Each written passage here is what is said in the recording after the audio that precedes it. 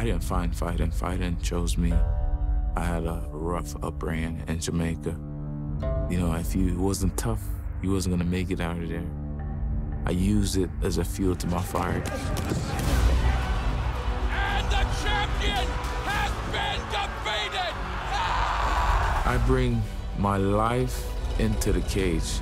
Champion every day, in and out. Jackson on top of the world! That's why I have this sitting on my shoulder right here.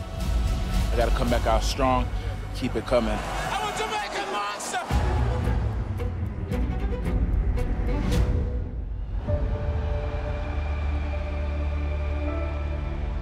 Fighting made me a better individual, a better role model,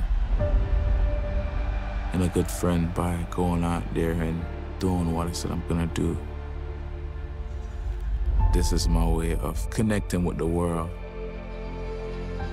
achieving my goals that I set out to do. And once people witness that, they become inspired by that and make them want to chase their goal no matter what they're doing. Muhammad Ali came out here and did a sprint one time too when he did his camp in Miami. Because fighting is fighting. It doesn't matter if you're going in a cage or you have to get up every day to like do a regular job. You still have to fight. We just set a record. That was eight minutes and 30 seconds. My warm-up normally would be 10. So, chasing the rabbit, postman.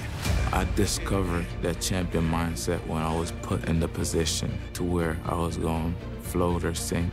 Let's go, we're gonna get some hill sprints. When my back against the wall, and I had to fight. Who gonna win? Let him wait down there while we get down there. The race him. It's just I discovered that grit inside of me. It wasn't something that I knew I had. You know, you have to have a heart of a champion, especially when it comes to hard time, overtime, when it get tough. Ready, set, go. If you have consistency in your life and dedication and discipline, you don't have to think no more. You just have to do your best and want nothing less, nothing more, just your best.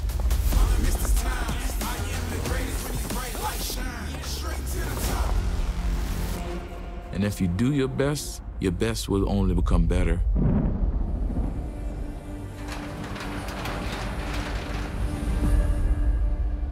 And then you won't have to think about doing your best. It will just become something natural that you do every single time you do something because you just practice doing your best so much that's all you know how to do.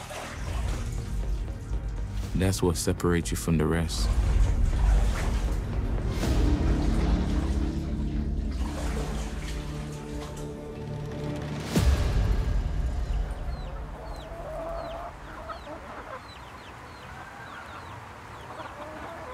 This is where, you know, I come and find peace throughout the day. People have man cave and all the stuff that they do. I come back here and take care of my chickens. I don't think about nothing whenever I'm back here, just the chicken and me. I didn't find fighting, fighting chose me. They love worms. They can't resist these things right here. You're crazy for that mealworm. I had a rough upbringing in Jamaica before I migrated to the United States. It's the closest thing that keep me to nature, you know what I'm saying? And keep me a little grounded. Because when we get into the sea life and sometimes we get on, on top, you know, we forget where we come from and the nature and all that stuff, you know, forget. So I try to stay close to nature as possible. I had to fight to survive to get that meal, you know. It's a small little village that we grew up in, in Clarendon.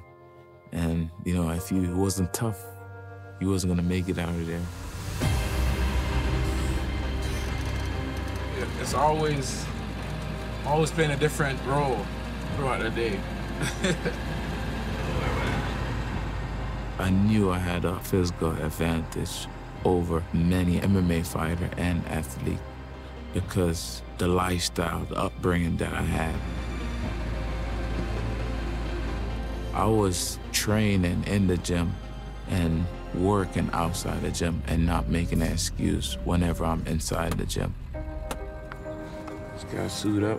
The work that I chose to do, it was no indoor job. I need the AC. I was in the sun, in the hot sun in Florida, selling coconut, washing cars, cutting trees, doing all this stuff in one day and training on top of it. I didn't make no excuse. Lie. That's not what happened. Yeah. My kids is the reason why I do it every single day. You know, I want to set that blueprint so they don't have to go search anywhere. It's right there in front of them. Oh, there's a um, woodpecker nest up there, and I don't want to cut it down. Care about the birds and stuff.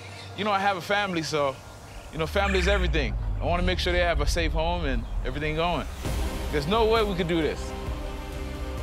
I, I started from nothing, which is in Jamaica, and I'm here in the land of opportunity in America, and I'm blessed.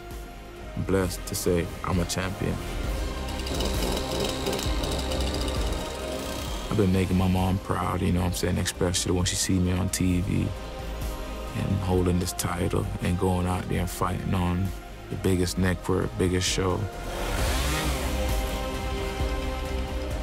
Bellator, PFL, you know, a lot of people from the small little village that we're from right now don't even have that opportunity, and I'm here with a smile on my face, like, as a better man. Two for 10, three for 15.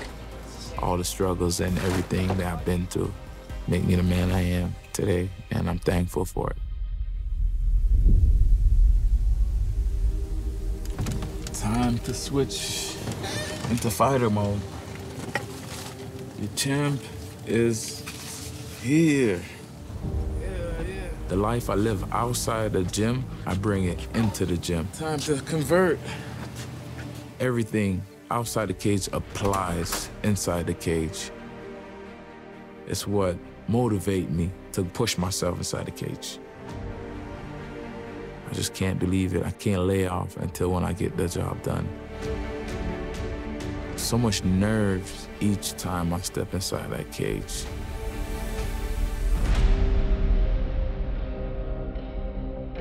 Not just nerve of fearing the next man, but nerve of not achieving my goals, everything that I set out to do, how hard I work to get where I am. Every single time I prove myself right, those nerves never go away. That guy's like this small. You cannot hit him with the elbow. He's underneath you, or you're gonna miss. That guy's too short. But anyways, stay low. Beating Ramazan does show anything. He's nothing different from the rest. I'm stronger than him. I'm faster than him. And I'm hungry than him. I'm not overlooking him. I bring the same attitude. I always have something to prove. And the reason why I have something to prove is the fact that they feel like this guy could beat me.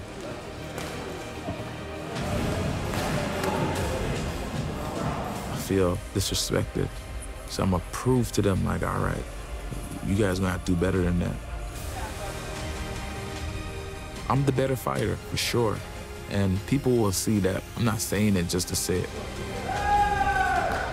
Hard work is all I, I know. That's why I have this sitting on my shoulder right here. This is new generation coming. Just hard work. Appreciate it. Let's go, guys. One, two, three.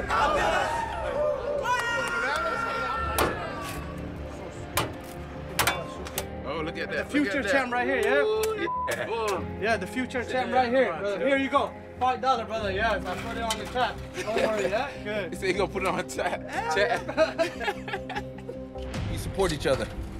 We get better with each other. So he, he helped me, I help him. That's how we get to the top.